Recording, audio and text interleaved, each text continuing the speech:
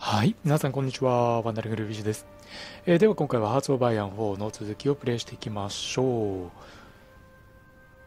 あ、ベトナムと再び戦争を始めるというかね、まあ、戦争中ではあるんですが、ベトナムに侵攻するために、えー軍備の増強というところで、えー目標はまず50師団、陸軍50師団を用意するというところから、えー続きをやっていきましょう。で、えっと、早速時間を進めていくんですが、艦隊ですね。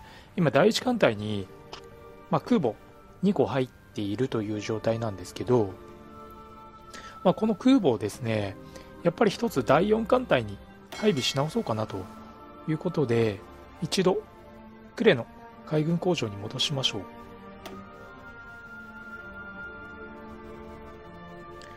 第4艦隊も一時的にですが戻しましょう。まあ、一つの空母にね、2個、うん、1つの艦隊に2個空母を入れておくというのもありなんですけど、まあ、ここは空母2つ分散させて配備して5個艦隊に5個空母という体制にしていきます。将来的には全ての艦隊に空母を配備できれば一番ベストかなというふうに思ってます。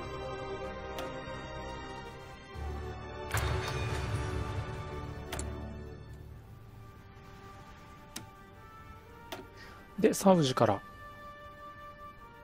石油を追加で輸入していきましょう。あとはタングステも足りてないかな。これもじゃあ南アフリカから追加で輸入。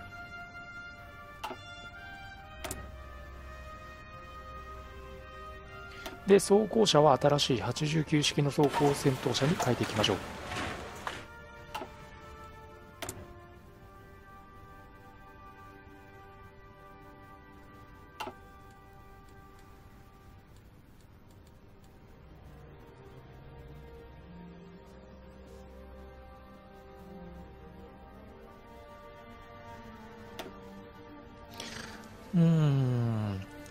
これ艦隊戦で負けてますけど敗北は何で敗北？ちょっと確認しましょう。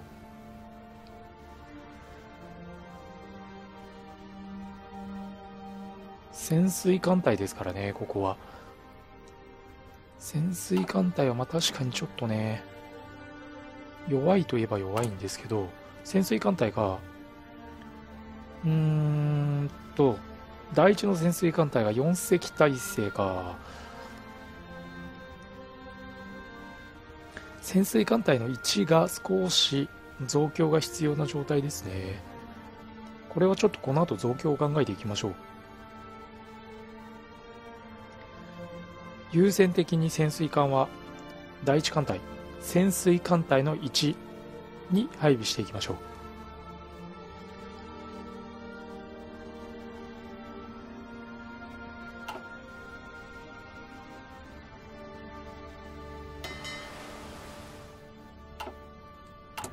では第4艦隊ですね。冒頭話した第4艦隊と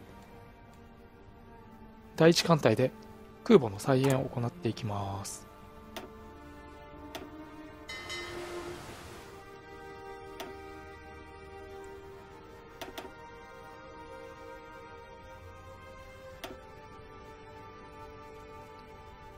総流の方を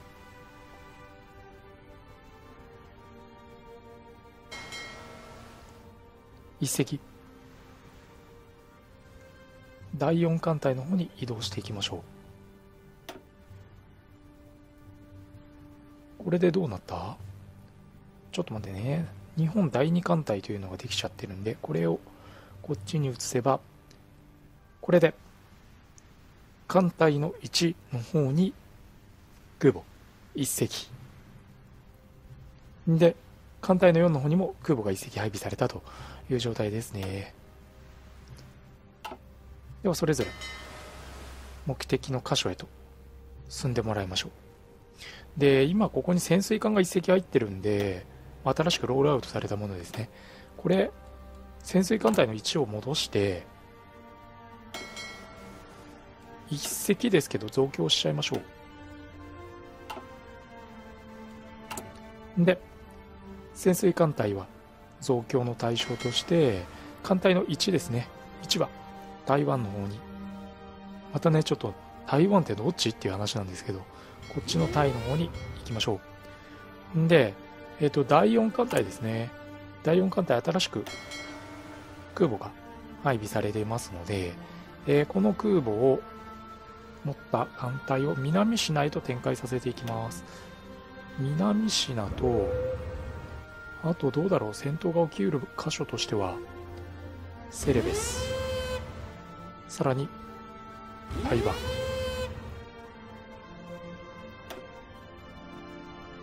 ここで56機の火災機が活動するという状態ですね。この空母総流は一番最初にできた空母なんで艦載機の数がね、まあ、多少少ない。56と。今最新型の空母。これだとえっと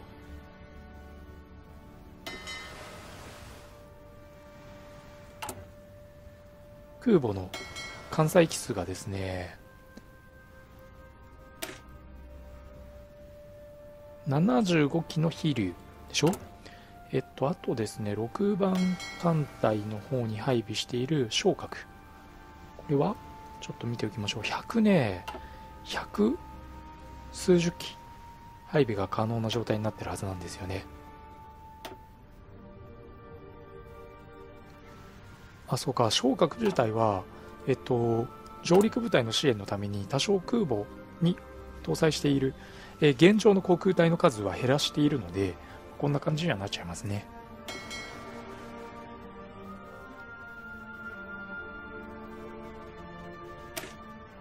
昇格の方が30機体制。これも、えっと、厳密には140数機の体制にできたと思います。関西機数としては現状30機しか搭載してないですが、実際に搭載できる関西機のマックス数ですね、上限数はもっと高いはずですね。ちょっとそれもじゃあせっかくなんで確認しておくと、昇格は、えっと、123機乗せられるうちの30機の第3近接航空戦隊、これを今、構成しているという状態ですね。で、第1艦隊に配備されている、この巡洋、これが一番最新の空母になってるんですが、これだと、関西機数は170機。ここまで来るとだいぶ、その、第一世代の空母との戦力差が3倍以上ですね。関西機という意味では。すごく開きが出てくるのかなというところですね。では続いて、潜水艦隊の1番艦というか、1艦隊目と新しくロールアウトされた潜水艦ですね。これを合わせていきましょう。これで潜水艦が5隻体制になりましたね。潜水艦隊の1が5隻体制になったので、これちょっと名前もな、ネーミング変えたいよな。第一潜水艦隊みたいな形で、最初に名前を持ってきたいな。ちょっとそれつけるのも面倒なんでね、微妙なとこなんですけど、新しく、えっと、これは、駆逐艦かな？フリゲート艦ですね。フリゲート艦が1隻完成してますんで、どっかのタイミングで、えー、艦隊の増強を行っていきましょう。艦艇数で言うと、どうでしょうね。第1艦隊か、もしくは第3、第4、どちらかの艦隊に増強を仕掛けていってもいいかもしれないな。これで新しく空母がもう一隻完成したら第5艦隊に配備していきましょう。ちなみに空母が完成するのはおそらくだいぶ先なんじゃないかな。えっと、年に1.6、まあ、つまり約1隻ですね。えー、次回できるのが2023年1月ということで、まあ、約1年後と。教習よりかもだいぶ先だな。まあ、この辺りはしょうがないですね。もう少し時間をかけて海軍の増強はしていきましょう。まあ、海軍は今見てもらった通りそうは言ってもそれなりに戦力が整っているのでどちらかというとやっぱり陸軍なんだよな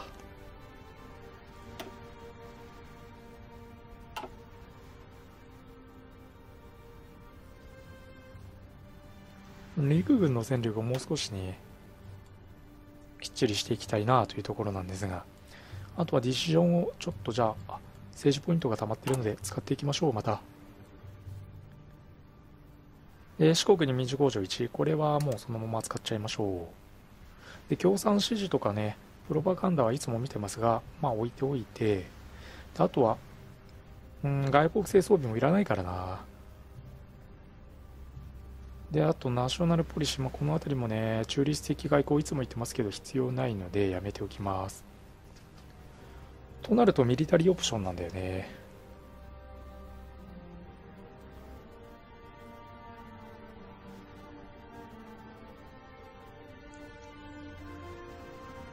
経験値アップか。まあ、陸軍、空軍に関しては、それぞれの艦艇、戦闘機の改造には使えるんですけどね、確かに。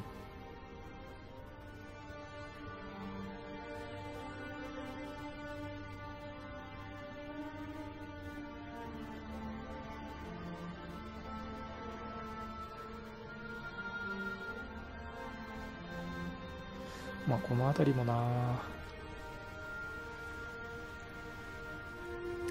パレスナパレスチナ・イスラエルの政治状況に介入するのがこの政治ポイント5ごときを使ってどうなんだというのがあるからね。でもこれちょっと気になるよね。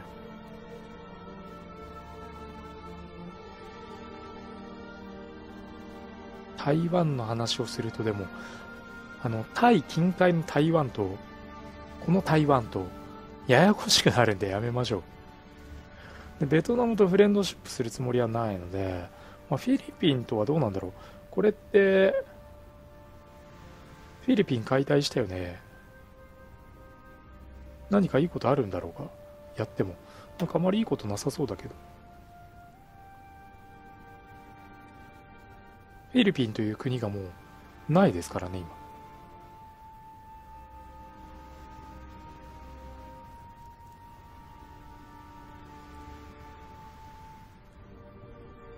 まあ、政治ポイントをね余らせておいてもしょうがないというのもあるので使っていきます。か。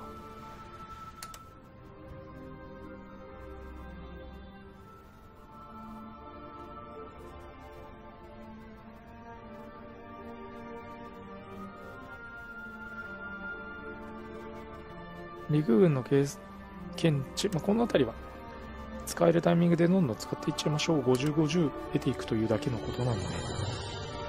まあ、特段に、まあ、考慮も必要ないかなと。いうところで使っていっちゃいましょう。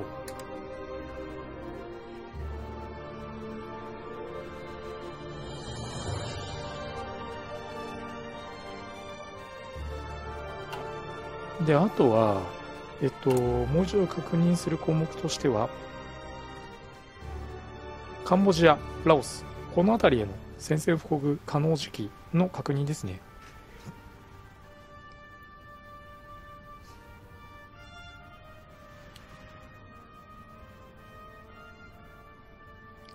じゃあまずカンボジアから見ていきますか。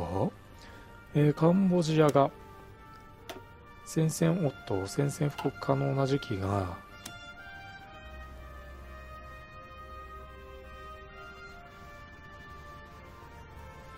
2023年5月、まあ1年後だな。まあ、1年経つので、まあ、その前に50師団体制が整えば、ベトナムに対して宣戦布告されている状態なので、仕掛けていってもいいかなという気はしますけどね。あとはラオス。ラオスに対しても今、あのー、宣戦布告準備を進めていて、これが2022年の6月、ラオスが先か。ま、ただラオスはな、内陸なんでどうしようもないからね。じゃあ先に、というか、まあ、今後を見据えてマレーシア。ここに宣戦布告の準備をしておきますか。ああ、してる、すでに。これが終わるのが、いつかというと、2024年、だいぶ先だな。あと、インドネシアは？インドネシアはね、えっ、ー、と、原材料を輸入してるので、まあ、できれば戦争したくないなという気もするんですが、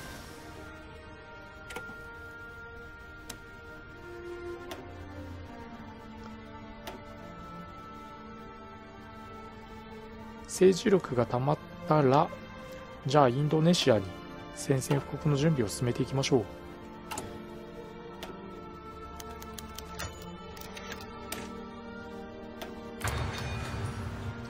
えっ、と大規模な市場自由主義集会ということですね。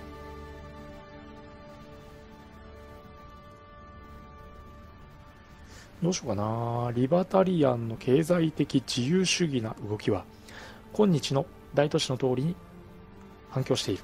資本主義的理想主義は急速に勢いを増していると。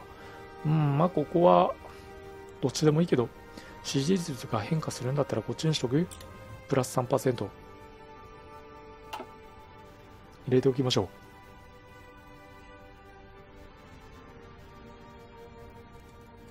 う。で徴兵の状態はというとまあまあまあまあっていう感じかな。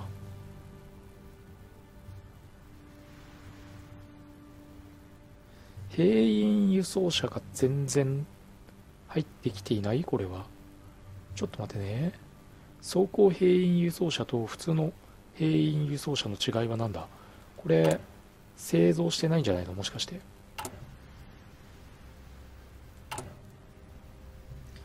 故にいつまでたっても入ってこない。その可能性ありますよね。ちょっと研究枠確認しておきましょう。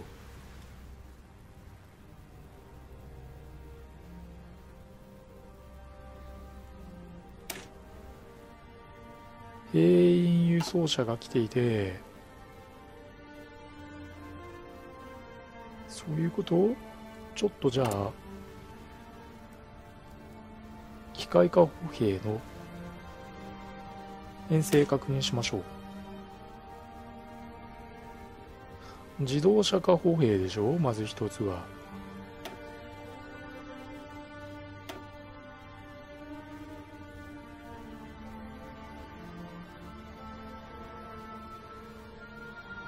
でもう一つが機械化歩兵でね。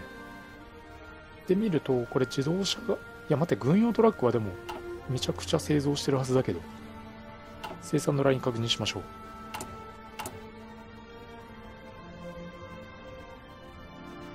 軍用トラック補修が追いついていないってこと？これ見ると。そういうことだよね。いやこれ参ったな。かといって軍用トラック増強するのも難しいしな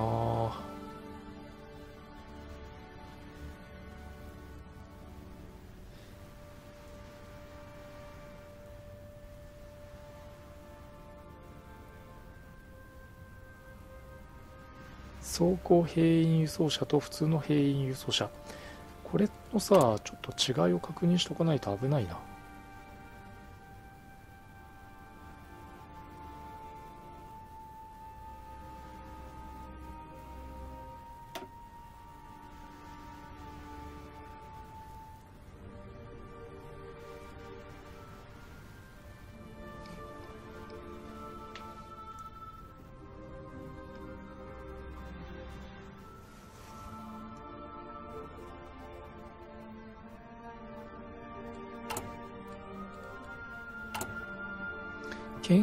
組でいくと、えっと、まあ、主力の戦車だよね、こっちが。で、機械化と軽機械化があって、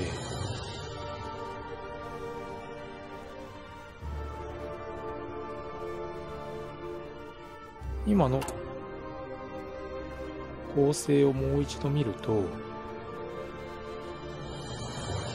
機械化歩兵を見ると、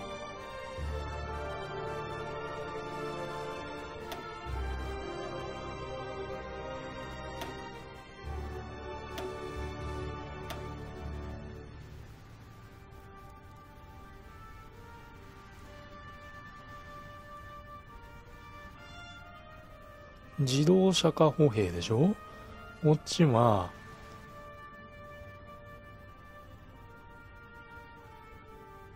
機械化歩兵、自動車化歩兵、それぞれの装備品確認しときたいな。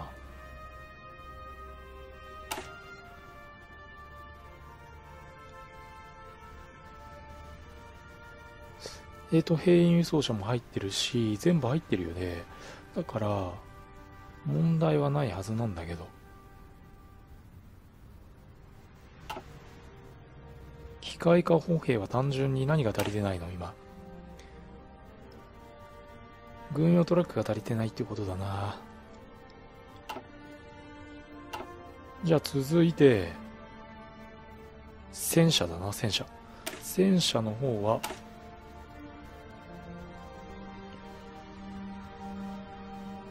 主力の戦闘車に軍用トラック。うん。基本的に足りてないんだな。ちょっとじゃあ装備品の生産ラインを見直しましょう。備蓄があるものは一旦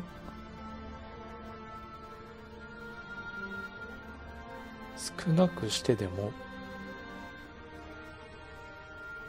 新しい軍用トラックの方に回したいな。主力戦闘車これだよね。足りてないの。あと軍用トラック。これも全然足りてない。ここにちょっと数を合わせていきたいんだけど減らせるのがないな。どうする？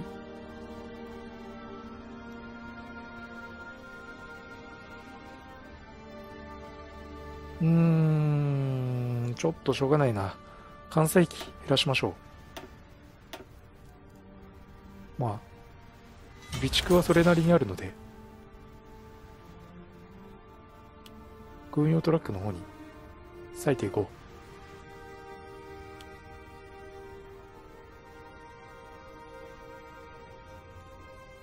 これでバリバリ作ってもらってちょっとでも早く徴兵を終えていこう。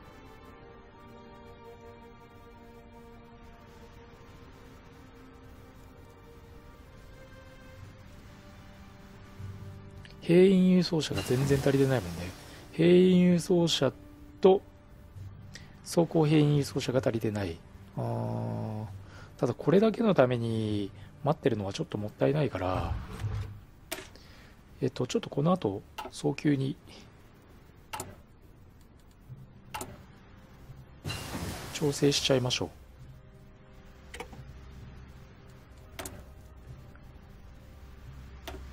で野戦病院を先に進める？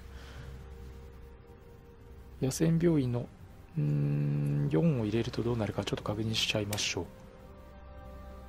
後方位相プラス10、えー、経験値の損失がマイナス10まあこれやっとくか。あとは、えー、陸軍の装備ですね。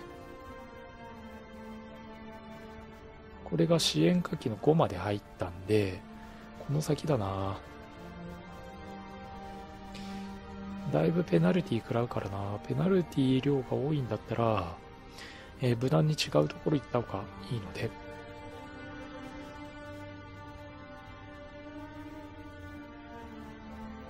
特殊部隊はね、進めてもしょうがないので、特殊部隊以外のところで、ま、迷彩服とかにしときますか、防御が。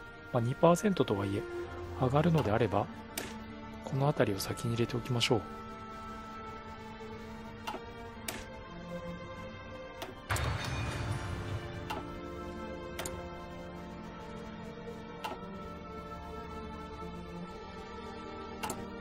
で、兵員輸送車が足りてないけど、足りてないけど、先に配備していこう。他の装備が充実してるんで、まあ、兵員輸送車が足りないぐらいであれば、えー、もう現場に配備しちゃった方がいいでしょう。ここで。待ってるよりは。多分ここも同じ。だよね。兵員輸送車が欠乏してるだけなので配備。戦車部隊は？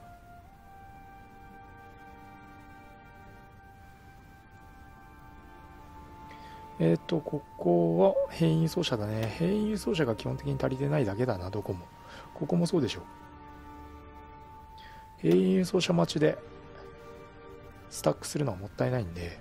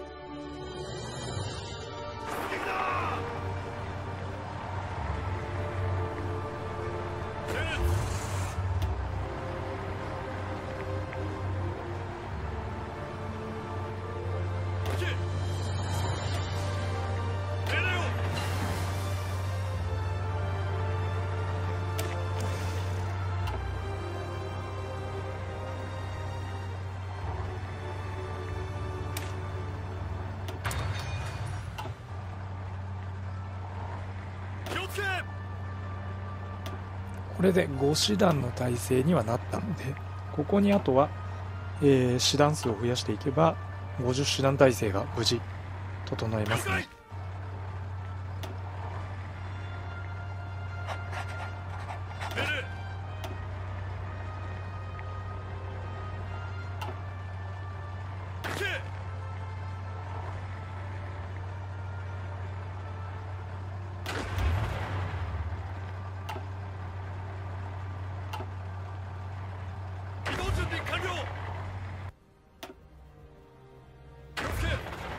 じゃあこれを沖縄へと都会させていきましょう。いや違う、フィリピンだね、フィリピン。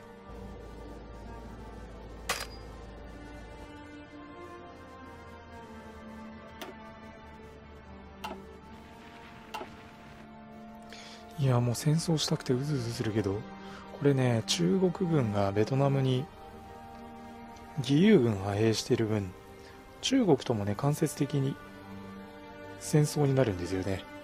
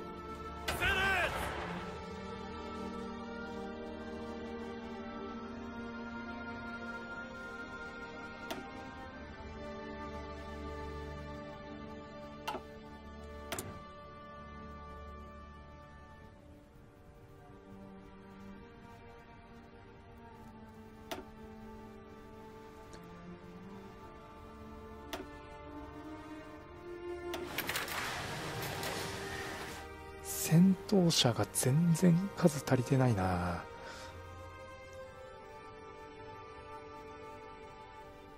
軍事工場をちょっともうちょっと得ていくための何か考えていかないと。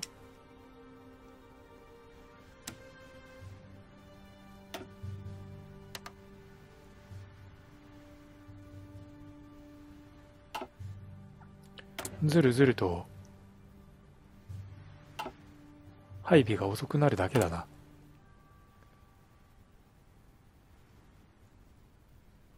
今、あの、国家方針で言うと陸軍の訓練を入れているので、これで訓練スピードは25%アップするんですよね。いや、これ1にも2にももったいなかったな何が足りてないのかをすぐに確認して、さっさと現場に配備してしまうべきでしたね。兵員輸送車以外は全部装備が揃っていたので、ちょっともったいなかったかな。まあ、しょうがないですね。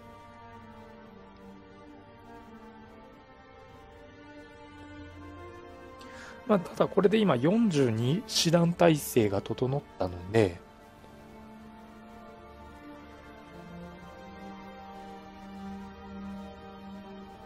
この42師団にあと8師団加えた50師団が整えば、えベトナムに対して再び攻撃を加えていきましょう。まあ、次回はですね、まあ、仮に50師団整わなかったとしても、まあ、50師団に近い体制が整ったということで、えー、ベトナム戦、再び上陸軍を送っていきたいなというふうに思いますので、次回もぜひぜひ、えー、お楽しみにしていただければなというふうに思います。えー、というわけで、え今回はじゃあここまでにさせていただいて、え次回ですね、えまたこの続きをプレイしていきたいと思います。はい。というわけで、えー、最後までご視聴ありがとうございました。ぜひ、チャンネルの登録、あとはですね、Twitter の方で動画の収録状況と、あとは配信状況、まあ、その他もろもろ情報を発信しておりますので、えー、興味のある方はぜひ Twitter の方もフォローしていただければあ嬉しいなというふうに思います。